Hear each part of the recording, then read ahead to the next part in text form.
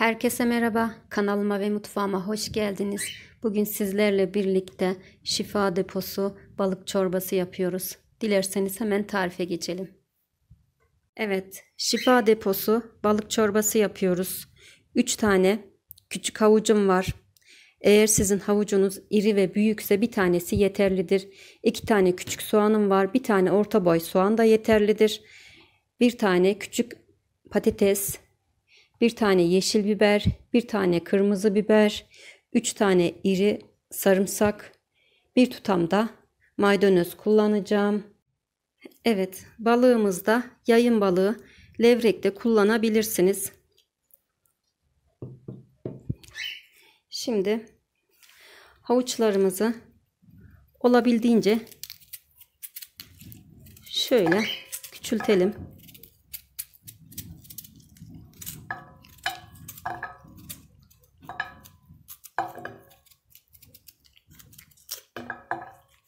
Evet havuçlarımı bu şekilde doğradım.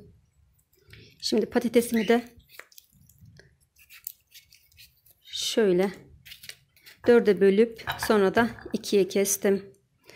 Aynı şekilde soğanlarımı da öyle yapacağım.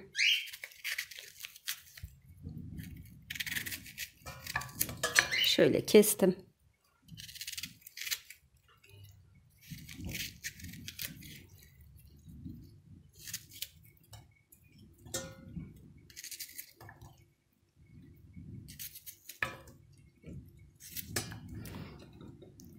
Sarımsaklarımı da içerisine atıyorum. Maydanozları da isterseniz şöyle doğrayabilirsiniz. Sonra zaten rondoda çekeceğiz bunları. Şöyle kıydım onları da iri iri.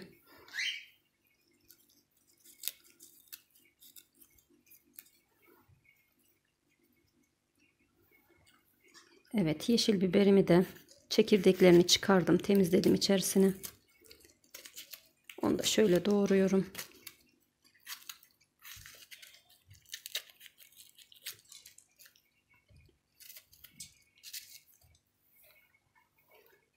Kırmızı kapya biberimin de çekirdeklerini çıkardım. İçerisini temizledim. Onu da şöyle doğruyorum.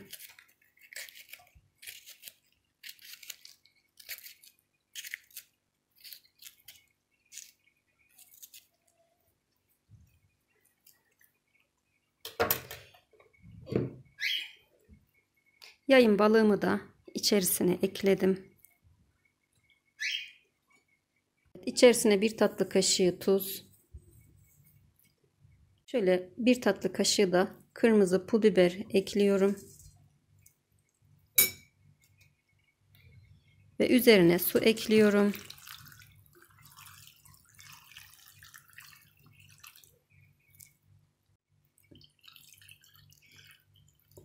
Üzerine yaklaşık bir buçuk litre su ekledim. Şimdi tenceremizi ocağımıza alalım. Çorbamız kaynarken şu üzerinde oluşan köpükleri alalım.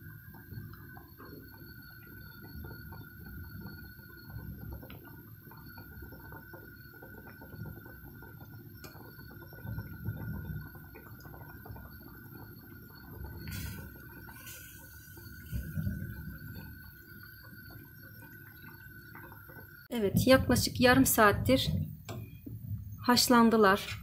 Şimdi balıklarımı suyun içinden çıkaracağım.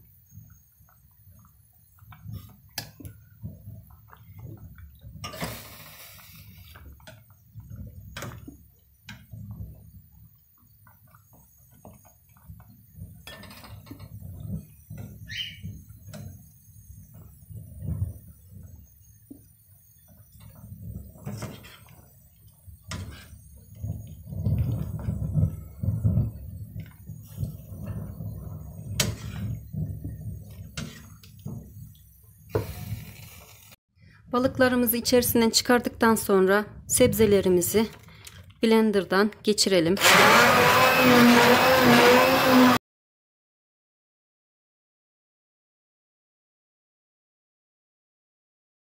Evet blenderdan geçirmiş olduğumuz çorbamızın suyunu süzelim. Çorbamızın suyunu bu şekilde süzekten süzdüm.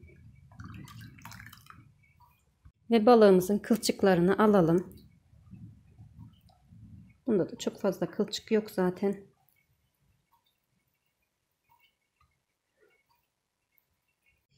Evet bu şekilde balığımızı parçaladım. Tenceremizi tekrar ocağa aldık ve içerisine 3 yemek kaşığı kadar zeytinyağı ekliyorum. Eğer tereyağınız varsa tereyağı da olur. Üzerine de 1 yemek kaşığı un ekliyorum ve kokusu çıkana kadar kavuracağım. Evet, kavrulan unumuzun içerisine süzmüş olduğumuz çorbamızın suyunu ekleyelim.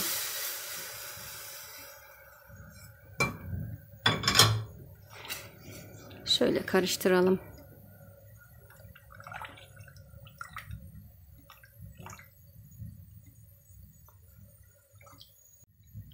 Balık etimizi de artık ekleyelim.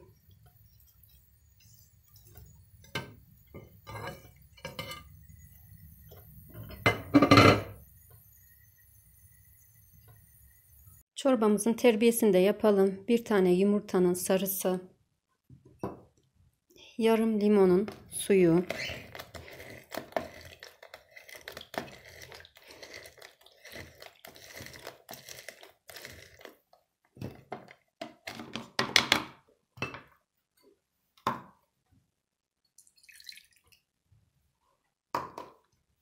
çırpalım.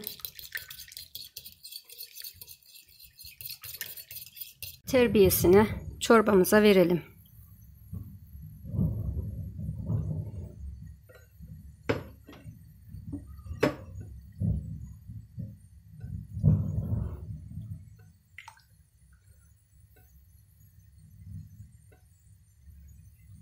Evet balık çorbamız artık oldu ve artık servis edeceğim tabağıma alıyorum.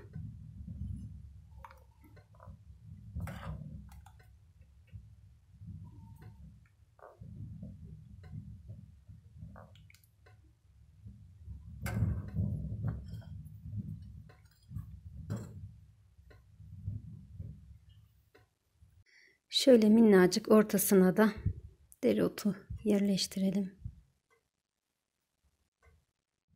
Evet balık çorbamız hazır. Videomu beğenmeyi ve hala kanalıma abone değilseniz abone olmayı unutmayın. Yeni tariflerde buluşmak dileğiyle. Hoşçakalın.